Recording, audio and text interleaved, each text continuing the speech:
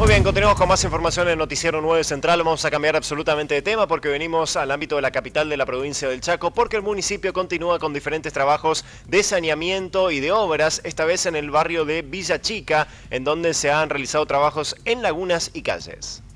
Rivera o eh, lo que se dice borde de laguna eh, con distintas acciones, consolidando el suelo, eh, profundizando todo el perímetro para que tenga eh, más reservorio la laguna para los días de lluvia y también a la vez con obras importantes como veredas, ejercitadores aeróbicos, juegos infantiles, bancos, em, el, muelle, los bicibotes.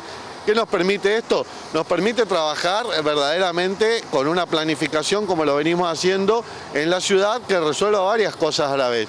Nosotros nos propusimos trabajar en un plan de obras que permita resolver un problema histórico de la ciudad, que es la inundación por lluvia.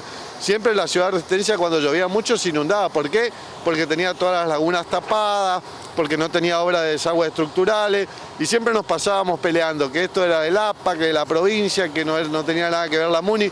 Nosotros hicimos un plan director, estamos ejecutando obras eh, hídricas, conductos de desagües pluviales troncales, pero también tenemos un plan para recuperar las 22 lagunas de la ciudad, que son los reservorios de agua donde el agua va cuando llueve mucho en la ciudad. Por eso eh, ya hemos recuperado el, lago del Parque de Febrero, la laguna Francia, la laguna eh, Seitor, la laguna Argüello, que la hemos limpiado y ahora estamos en etapa de obra, ahora aquí la laguna de Villachica.